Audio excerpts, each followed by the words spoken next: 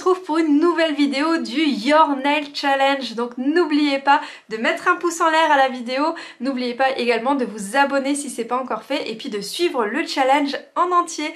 Je vous dis à tout de suite pour la vidéo et puis si vous voulez toutes les suivre, et eh bien ça se passe sur le site yournails-international.com dans la partie hashtag Your Nail Challenge et voilà, si vous voulez le faire avec moi, eh ben, je serai super ravie de vous accompagner. Je vous dis à très bientôt et on se retrouve tout de suite pour le cours d'aujourd'hui. Voilà, nous avons vu dans la vidéo précédente comment euh, utiliser donc le pop-it. Nous allons à présent voir comment limer l'ongle. Et eh bien tout simplement, on pose la lime à plat. Et là on peut faire des allers-retours. On n'est pas obligé de, euh, de, limer dans un sens comme on le ferait sur ongle naturel, c'est-à-dire sur ongle naturel on va, on va limer toujours on soulève, on tire, on soulève, on tire. Là, on peut limer dans les deux sens. Maintenez bien votre ongle en place.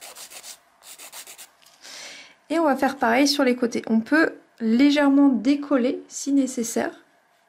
Et on va suivre, vous voyez la ligne qui a déjà été formée par notre pop-it.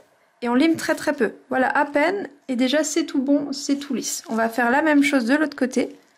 On décolle si nécessaire. Et on va... Alors, on ne la met ni trop vers le haut, ni trop vers le bas. On, la met entre deux pour qu'on voit vraiment bien ce qu'on fait. On fait quelques allers-retours et on enlève. On fait quelques allers-retours, on enlève pour voir où est-ce qu'on en est. Et là, on est déjà bien. Voilà, on n'a pas besoin de faire plus. Il nous reste la cuticule. Alors là, deux options. Soit vous n'avez qu'une lime et on va le faire à la lime, soit vous avez une ponceuse et on peut le faire également à la ponceuse. Ici, je vais vous le montrer à la lime. Donc simplement, on va venir très délicatement, alors je vais vous montrer,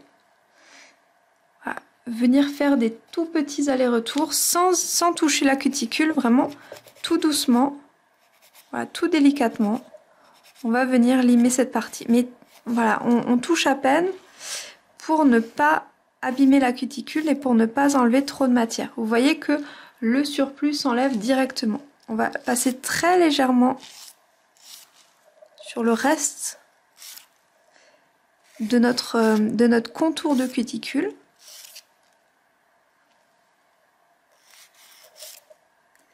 Et voilà, on est déjà tout bon repasse encore un tout petit coup ici.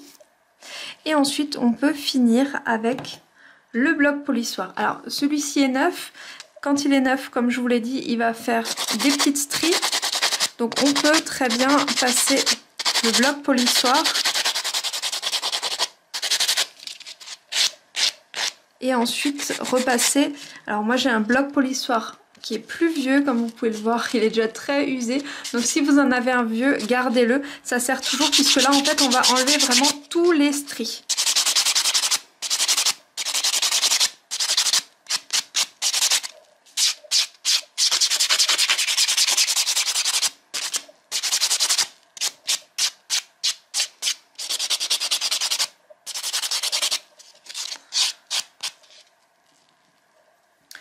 Je vais reprendre un bloc polissoir, pour, euh, un carré de cellulose, pardon, pour euh, voir où j'en suis.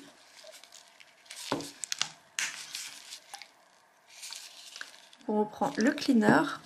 On clean souvent, hein. c'est dès qu'on a de la poussière, qu'on veut voir où on en est, on passe le cleaner.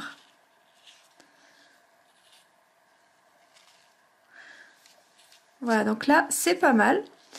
Il nous reste encore un tout petit peu à limer sur le côté ici vous pouvez le voir. Donc maintenant que j'ai plus de poussière, je vois où est-ce que je dois limer. Donc très délicatement, je vais venir passer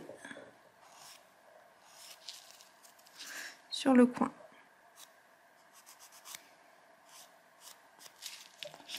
Et voilà.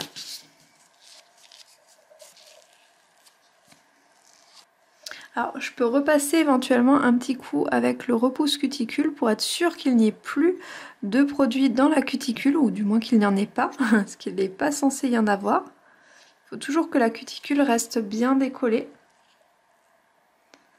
Et quand c'est tout bon, alors il nous reste plus que l'avant de l'ongle à travailler.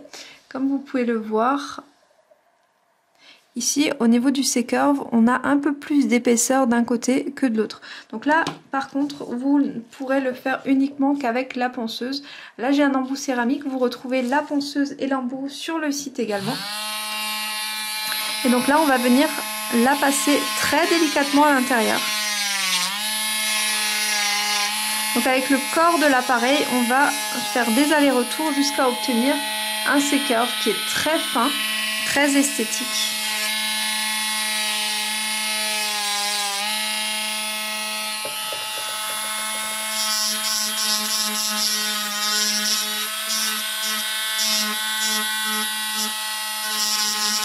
Je passe un petit peu dans le reste également pour, euh, bien homogénéiser.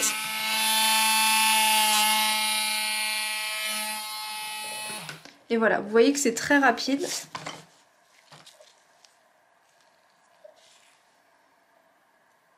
Donc l'avant doit être aussi fin qu'une carte de crédit une fois que toutes les couches ont été mises. Donc là c'est encore un peu plus fin, comme vous pouvez le voir.